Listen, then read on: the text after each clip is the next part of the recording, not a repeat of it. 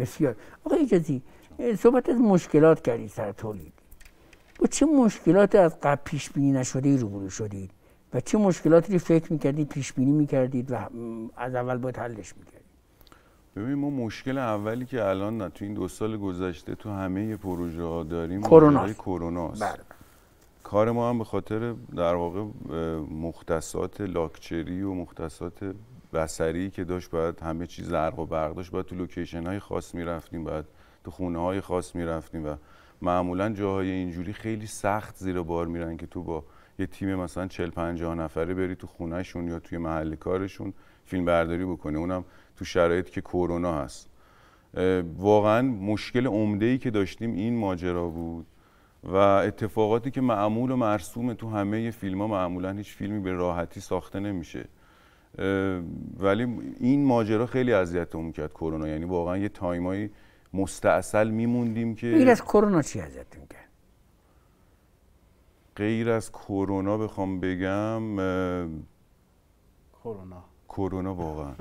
ببین چیزهای دیگر رو باشون ما این تیمی که با هم در واقع داریم کنم من فکر کنم کار چهارم پنجم همه که با همین مجموعه داریم با هم دیگه کار می‌کنیم از در واقع از ماجرای نیمروز یک به این ور به غیر از شیشلیک و درخت اولین کارت باز تحقیقشان داری کار می‌کنی نه نه با تحقیقشان من کار کردم باز کار کرده بودی؟ بله بله.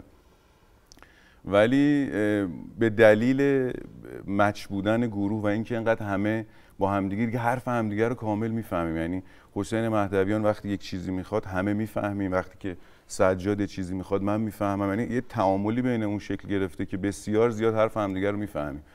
و چالش چالش وجود داره. ولی انقدر خوب با هم دیگه مچیم که به چشم نمیاد. یعنی به راحتی حل میشه و میره جو.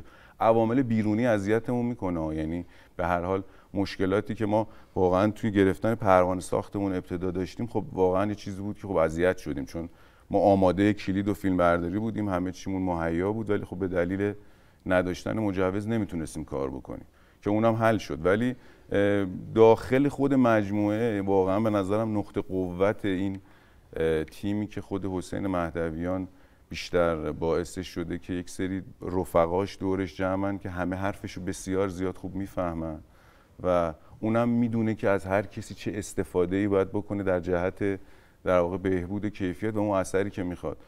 بسیار زیاد به نظرم هم زائقه بیننده رو می‌شناسه هم آدم هایی که باشون کار می‌کنه رو بسیار خوب مدیریت می‌کنه. یعنی این خودش به نظرم یه کارگردان خوب. اگر بدون اون تیمی که در اختیارشن چه جوری ازش استفاده بکنه خیلی برگ برنده است. کاملا درسته.